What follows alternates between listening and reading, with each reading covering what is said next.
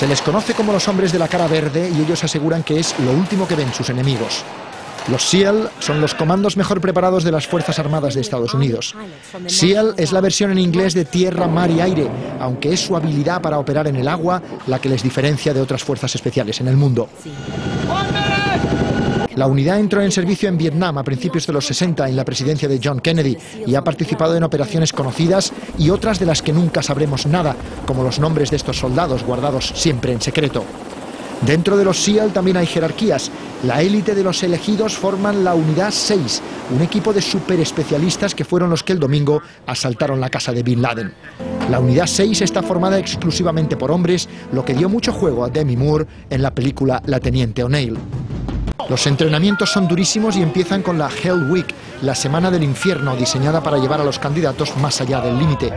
Son cinco días en los que solo pueden dormir cuatro horas y están continuamente mojados con frío y hambre. Se retiran el 75%. En la base principal de los SEAL en Coronado, California, estos días todos son felicitaciones.